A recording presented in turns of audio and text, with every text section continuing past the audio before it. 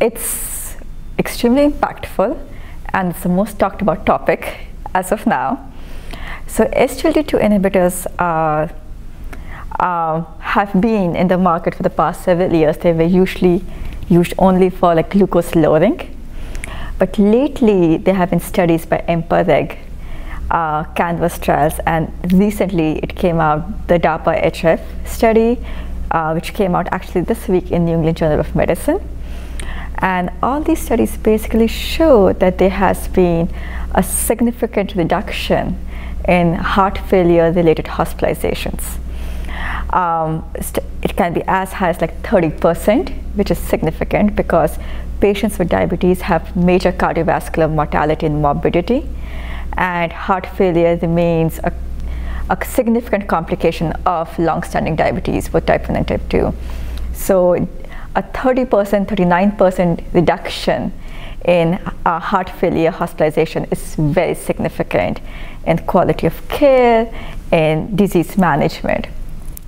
And the most recent trial, which came out earlier this week, shows that even patients who do not have type 2 diabetes, when given these medications, there's a reduced risk of rehospitalization with heart failure, uh, which is significant.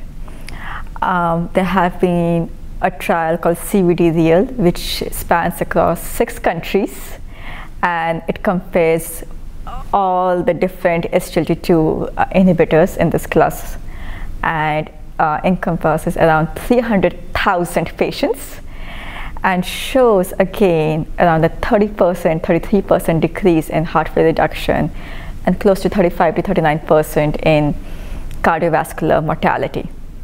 So overall, it's very useful. On this side, there are also studies going on showing the impact of this class of medication on decreased progression of uh, CKD, the chronic kidney disease. Data is yet to come, but there has been some meaningful impact being seen in decreased progression um, of renal disease, which again is a major complication in patients with diabetes.